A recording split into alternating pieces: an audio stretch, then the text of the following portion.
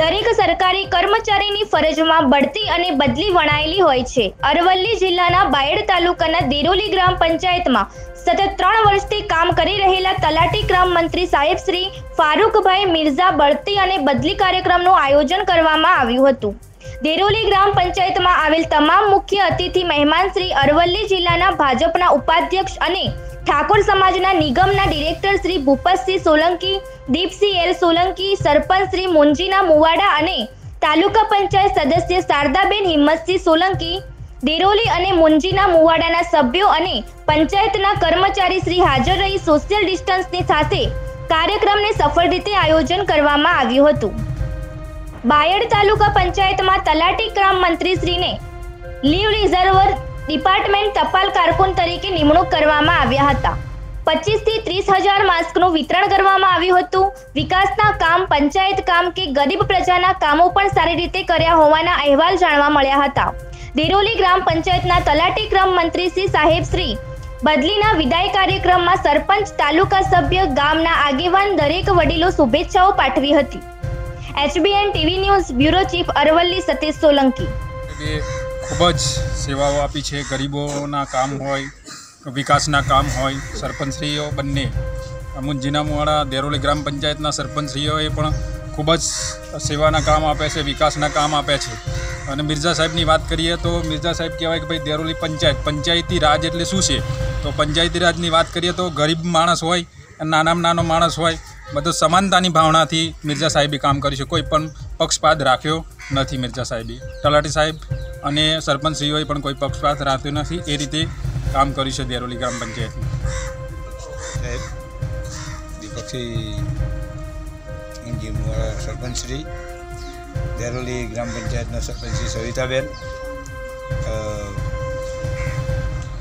Deputy deputy સરપંચશ્રી બેનશ્રી, મધુબેન તથા મારા કર્મચારી ગણ, તમામે મને સાથ સહકાર સારો આપ્યો છે અને મને ખૂબ જ ઉપયોગી થયેલા છે આ લોકો. બધાએ મને સાથ સહકાર આપ્યો છે. જય ભારત.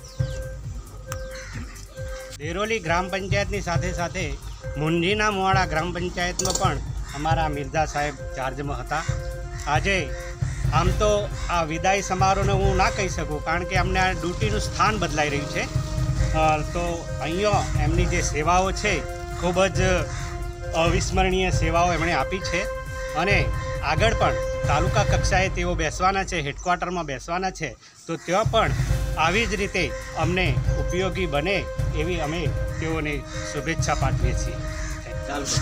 અમારા દેરોલી ગ્રામ પંચાયત, મુંજીના મોવાડા ગ્રામ પંચાયત અને ઝાંખરિયા ગ્રામ પંચાયતમાં સતત ત્રણ વર્ષથી સેવા બજાવતા તલાટી કમ મંત્રી તરીકે સેવા બજાવતા એવા- અમારા માન્ય મિર્ઝા સાહેબની સેવાઓ ખૂબ અવર્ણનીય છે.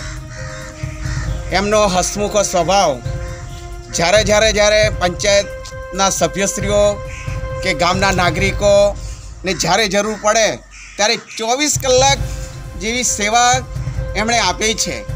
નાનામાં નાના માણસને કામ હોય તો રસ્તામાં પણ એમણે જ્યારે સહી સિક્કો કરવાનો હોય તો પણ ખૂબ હસમુખા સ્વભાવથી એ કામ કર્યા છે.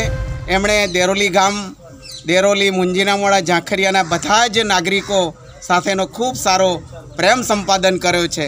અને કોવિડ નાઇન્ટીનના કોરોના દરમિયાન પણ એમણે ખૂબ સારું કામ કર્યું છે કે બધાને આજે અમારા ગામની અંદર એક પણ એવો કેસ કોરોનાનો નોંધાયો નથી.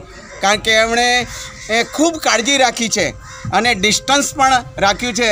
અને લગભગ એમ કે આ ગામની અંદર પંદરથી વીસ હજાર જેટલા માસ્કનું પણ વિતરણ કરેલું છે.